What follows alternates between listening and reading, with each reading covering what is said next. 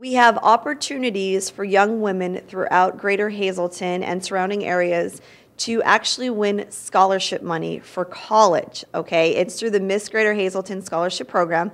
It's the second annual coming up this year, and we're with Sherri Homanko, and she is in charge of this event that is taking place this year. So thanks for joining us. Thank you. So tell us what the Miss Greater Hazleton Scholarship Program is all about, first of all.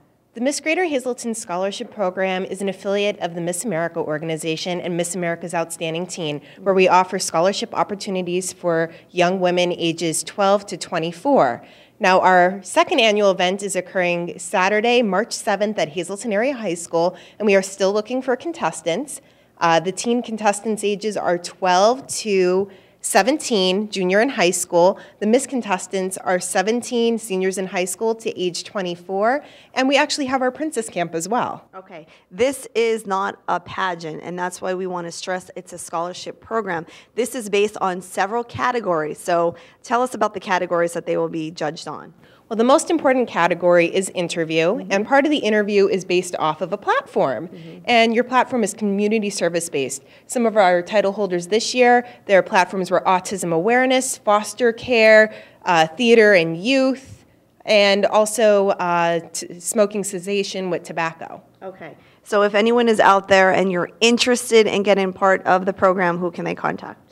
They could contact Jeannine or myself or any of our board members. Our website is missgreaterhazleton.weebly.com or you could see us on Facebook. I'd also like to give recognition to our board members.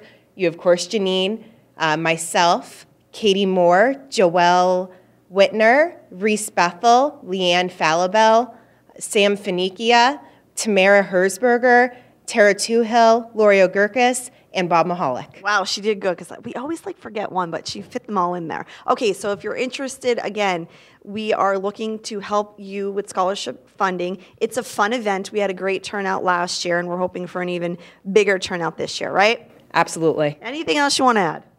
Come support us Saturday, March 7th at Hazleton Area High School. Next week, we have more information to talk about with you on FYI concerning the Miss Greater Hazleton Scholarship Program.